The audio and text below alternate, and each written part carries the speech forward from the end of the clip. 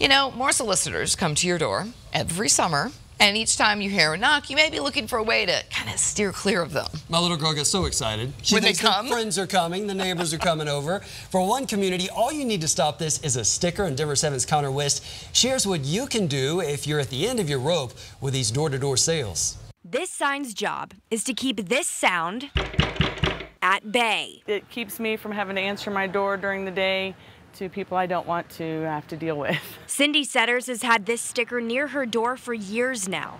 She says it helps control who comes to her door. I run a business out of my home, so I'm not wanting to have to deal with strangers coming to my door. It's right at eye level, so Yeah. I don't think that you could miss it right there. Yeah. And you think most people choose to appreciate that, and respect that rule. Yeah, that's what I found. People living in Castle Rock are registering their house on the no knock list site here. You get the sticker in the mail and post it. I put the sign up there just so I wasn't being bothered. Randy Picker covered up his homemade no soliciting sign with the sticker now spreading around the community. There's a few people that ignore it, but it works actually really good. I see a lot of people stop at the end of the sidewalk there and turn around and leave. And for those who don't listen to the sign, you can check out this list of registered solicitors online.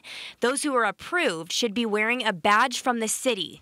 And if you have any issues with someone coming back over and over again, you can report them to the police. Just try to get the name of the person or business soliciting, badge number, type of car they are driving, and a license plate number. In Castle Rock, Connor Wist, Denver 7. Now, anyone soliciting or going door to door in Douglas County has to register now. The sheriff's office says if someone does not sign up, they could be fined up to $1,000 for each separate time they don't follow those rules.